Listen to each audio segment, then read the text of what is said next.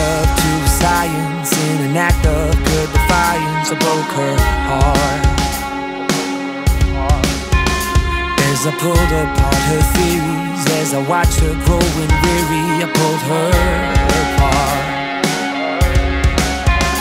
Having heavy conversations about the furthest constellations of our soul.